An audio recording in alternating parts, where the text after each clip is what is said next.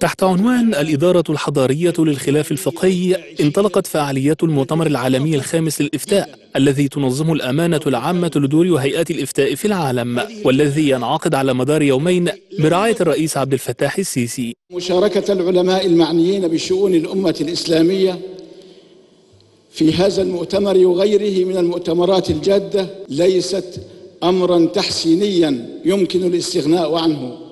بل هي رسالة سامية وعمل شاق وتأدية لما فرضه الله سبحانه وتعالى علينا من القيام بواجب الوقت. وقد أحسنت الأمانة العامة لهيئات ودور الإفتاء في العالم الإسلامي في اختيار, في اختيار هذا الموضوع الإدارة الحضارية للخلاف الفقهي.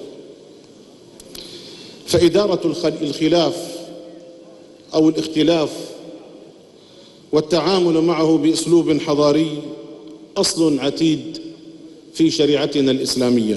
مؤتمر هذا العام يهتم باستثمار حالة الخلاف الفقهي بين العلماء لخدمة الشأنين الديني والتنموي على حد سواء، فضلا عن الخروج بمجموعة من التدابير والإجراءات التي من شأنها إدارة هذا الخلاف بأسلوب رشيد وخدمة قضايا المجتمع المعاصر.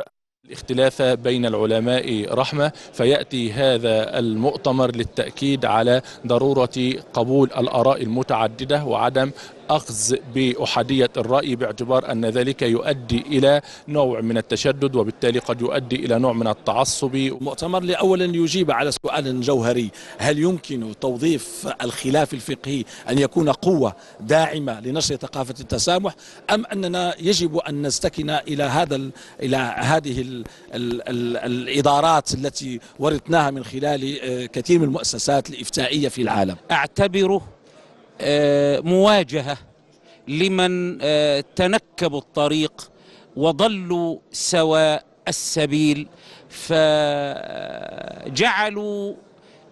فقه جماعتهم أو تنظيمهم فوق مصلحة الإسلام والوطن. فعاليات المؤتمر تتضمن عقد ثلاث ورش عمل تثري مناقشات المؤتمر.